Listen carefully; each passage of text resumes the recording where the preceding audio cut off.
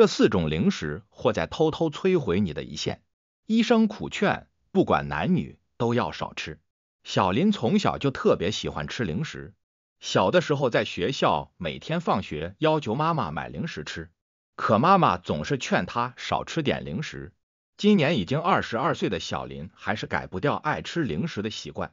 长大了自己挣钱了就可以随便买零食吃，他慢慢的就养成了这样一个习惯，就是每周去超市买好几大袋子零食放在家里，当做这一周的干粮。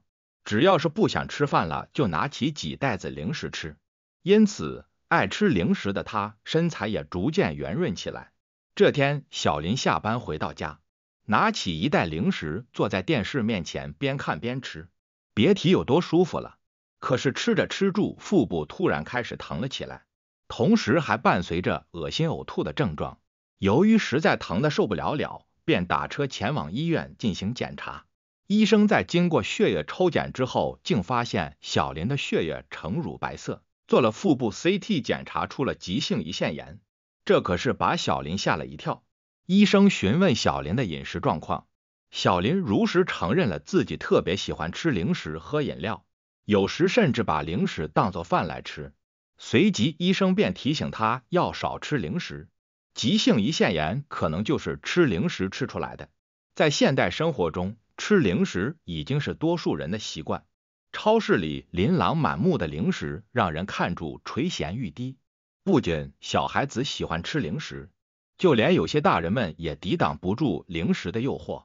然而你不知道的是，在你爱吃的零食当中，有几样零食正在无形中悄悄的损害你的胰腺健康。为何胰腺癌一发现就是晚期，而且生存率也很低？胰腺是一个隐藏在腹部深处的不显眼的小器官，别看它小，它的作用可大着呢。而且它也是身体不可缺少的重要器官之一。人体内的各种器官都起着自己的作用，而胰腺就是起到分泌和消化的作用，同时也可以调节身体的血糖指数。而胰腺还能分为内分泌腺和外分泌腺。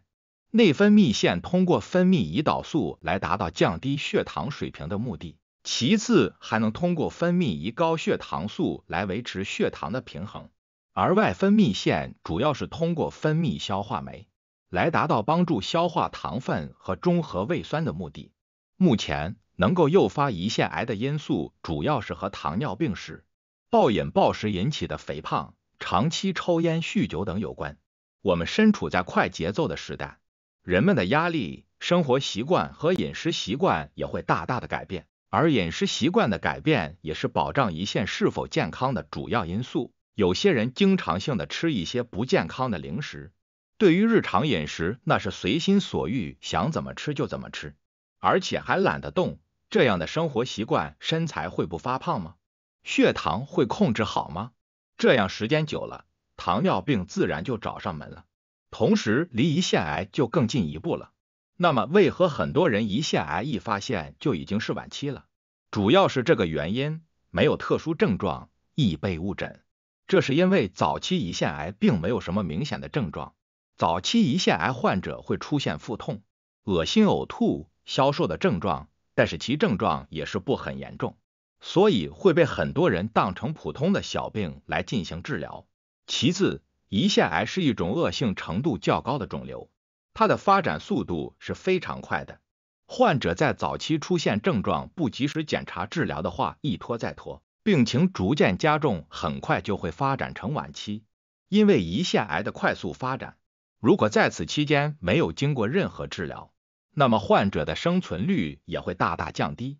有数据显示，未经治疗的胰腺癌患者有百分之九十可能会在一年内死亡。此外，由于胰腺的位置比较特殊，周边有肝脏、胃、胆囊等其他的器官，而且胰腺处在腹部的深处，只要出现疼痛，就非常容易误认为是胃部疾病、胆囊疾病等。